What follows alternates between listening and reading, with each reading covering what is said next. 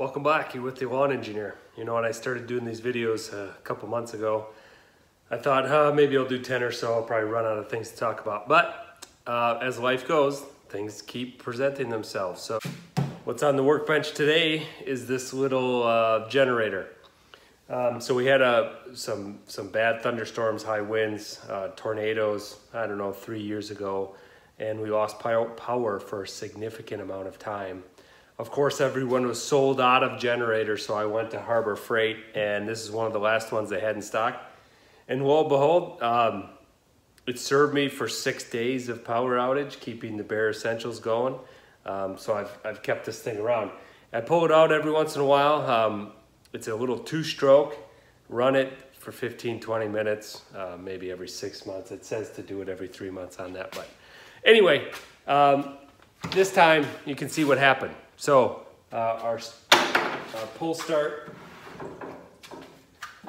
broke here. Um, instead of just replacing it, I'm gonna try something different and see if uh, we can make starting this even uh, easier than it already is. All right, we're gonna start by just popping off this cover here.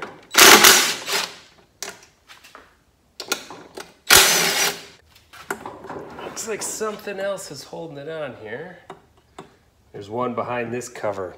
Sneaky snake. So we got to take this off a little bit to get access to that.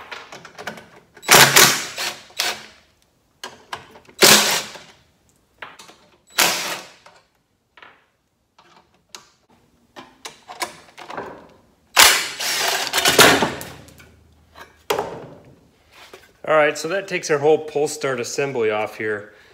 I'm sure there's plenty of videos on the YouTubes to tell you how to fix this. But I'm gonna try something different here. All right, so we got that out of the way. Now we just have to resecure our gas tank here.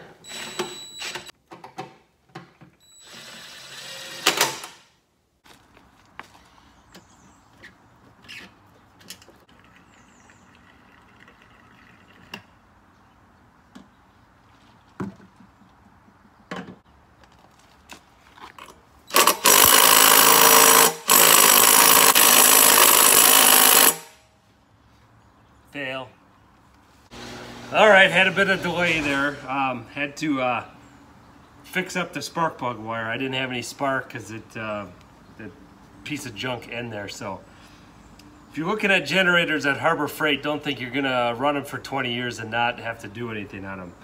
But anyway, whole separate topic. Let's see if uh, we can get it started with our method here.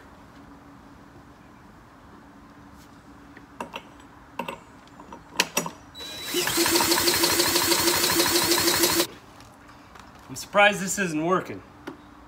I don't, I'm not quite sure what to make of this.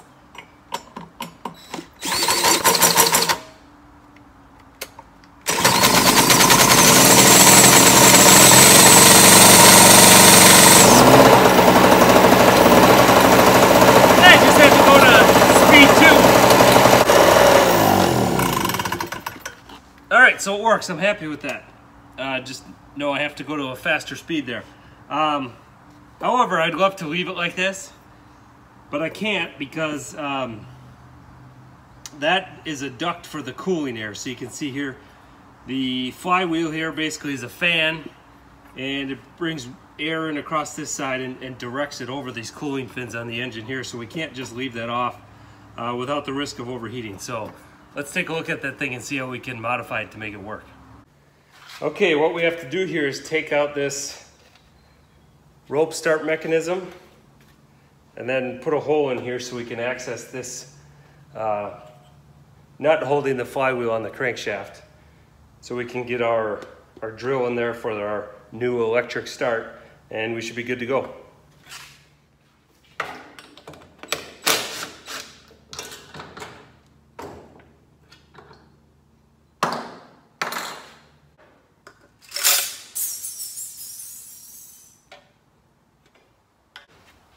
All right, I took the uh, rope spring uh, recoil mechanism out of there and I'm left with this and it looks like this is held on there with some spot welds.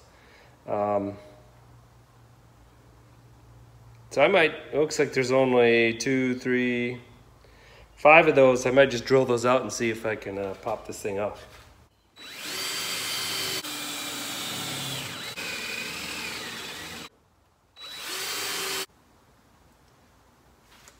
Well, that didn't work exclusively, so let's peel the sticker off.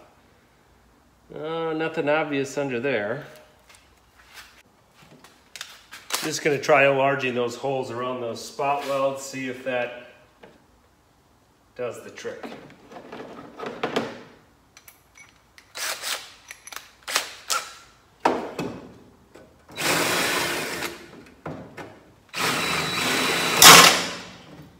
Hey, look at that, did the trick.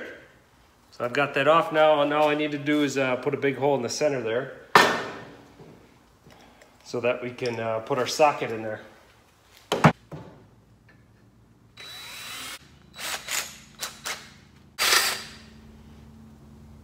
Well, that looks like hot garbage. Uh, let's see if we can find anything in my toolbox, bag of tricks here.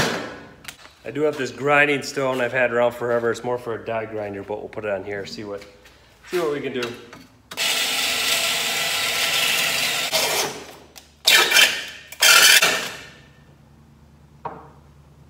Would you look at that? Perfect.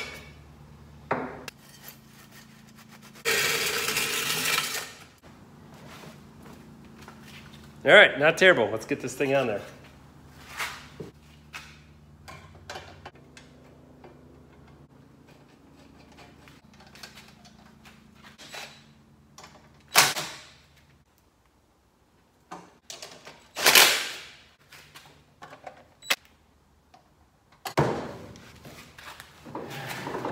All right, there you have it. Let's go test it again, make sure it runs.